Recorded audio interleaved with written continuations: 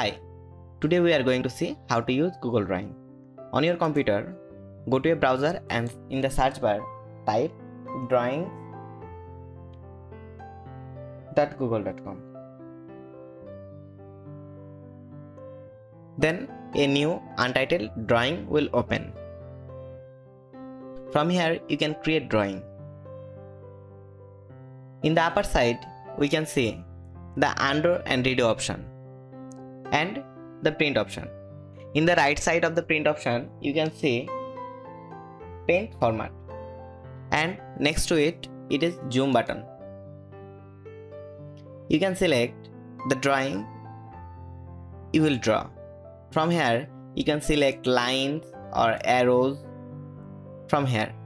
Also, you can select elbow connector, curve connector, curve, polyline and scribble. From here, you can insert different types of shape, arrows, call out and equation. Just like this.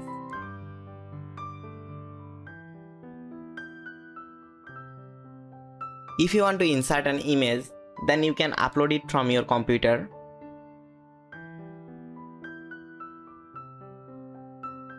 Or search the web or from the drive, photos or by URL or by camera. In the right side, you can see the border color, you can customize it. And also from here, you can select the border white. From here, you can see the how your border will show. In the right side of image option, you can see fill color option. You can fill color on your shape. Then you can select border color, border dash and border white. You can also edit your font. If you want to increase or decrease your font, then you can click from here. In the right side, you can see the bold option, italic option, underline option and text color option. You can also insert link, add comment, align, line and paragraph spacing, bullet list, number list, from here. In the more option, you can also decrease or increase indent.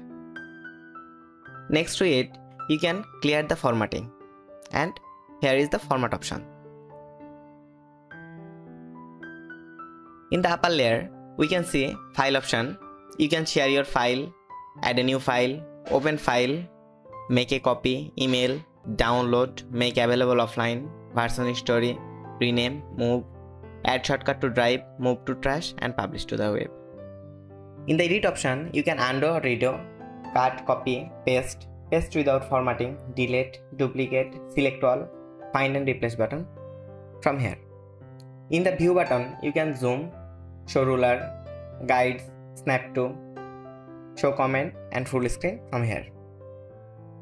In insert option, you can add image, add text box, add shape, add table, add chart, diagram, word art, line, special character, link and comment. In the format option, you can format your text, align indent, line and paragraph spacing, bullet and numbering, table, clear formatting, fill color, change connector, reroute connector, border line, format option, image from here. In the arrange option, you can order, align, distribute, center on page, route, group, ungroup from here. In the tools option, you can check the spelling, explore, link object, dictionary, preference and accessibility setting. If you want help from web, then you can click the help button and get help. Also, you can report a problem, report abuse of copyright, privacy policy, terms and service and keyboard shortcut from here. If you want to share your drawing then click on share and save it. After saving it, it will share to the people you want. You can also get link from here. So that's all about Google Drawing.